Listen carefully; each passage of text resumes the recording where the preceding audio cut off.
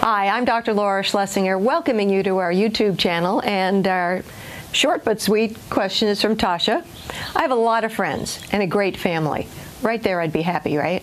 I think you'd stop there. However, uh-oh, I'm always the one to initiate getting together in any way, for lunch, shopping, hanging out.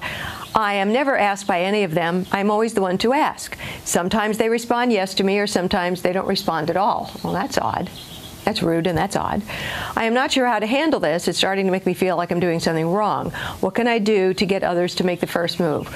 Well, in reality, you know, there are like two types of people the ones who aggressively set things up and the ones who go, yeah, that's a good idea. so, uh, I, you know, that part I wouldn't be upset by. If you come up with itineraries for things to do and you want to share them with these people, that, that's kind of cool.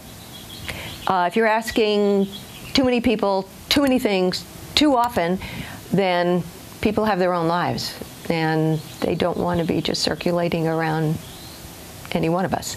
So, uh, the, the people that don't respond at all, I would certainly get on the phone and saying, I hadn't heard back from you. And I was wondering if there was a problem that I hadn't heard back from you. I think people should be held accountable for that kind of rudeness.